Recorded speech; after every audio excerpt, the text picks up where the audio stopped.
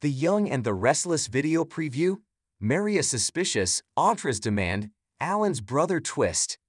The Young and the Restless spoilers for the week of June 3, 2024 reveal a new preview clip has been released. It shows Mariah Copeland, Camryn Grimes, giving Kyle Abbott, Michael Mealor, a reality check about Claire Grace, Hayley Erin, Audra Charles, Zuleyka Silver, makes a demand of Tucker McCall, Trevor Street John. Plus, Alan Laurent, Christopher Cousins, tells Ashley Abbott, Eileen Davidson, and Traci Abbott, Beth Maitland, about his brother. Keep reading to find out what is coming up in the CBS soap opera. The Young and the Restless spoilers, Mariah Copeland suspicious. Y and R spoilers for the week of June 3 reveal that the preview clip begins with Mariah and Kyle.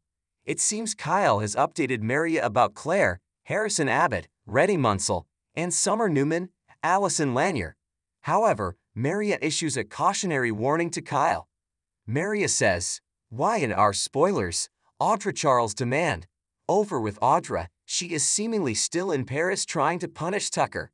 It appears that Tucker corners Audra in an elevator. Audra tells Tucker that this has nothing to do with vengeance as that is his game, not hers. Then, Tucker asks what exactly Audra wants. That is when Audra tells him, Audra demands glissade, all of it. The Young and the Restless spoilers, Ashley Abbott freaks out. The Young and the Restless spoilers for the week of June 3 reveal that the preview clip also shows Ashley. Now, Ashley has just been told something very upsetting. From the conversation between Ashley and Alan, it seems there was some intimacy, but with a twist. Ashley's voice is elevated and she asks if she's going through some kind of psychosis. Y and R spoilers, week of June 3, 20,241. During the week of June 3, fans can expect Alan to tell Ashley that he believes it happened just the way she said. However, Alan adds after a moment's hesitation that it just didn't happen with him. Alan said with a raised eyebrow that Ashley's night was with his brother.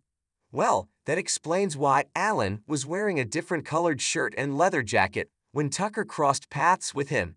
Alan didn't seem to recognize Tucker, and now we know why. However, why is Alan's brother part of Ashley's story? Is it just a crazy coincidence, or could Alan's brother have a sinister role in this storyline?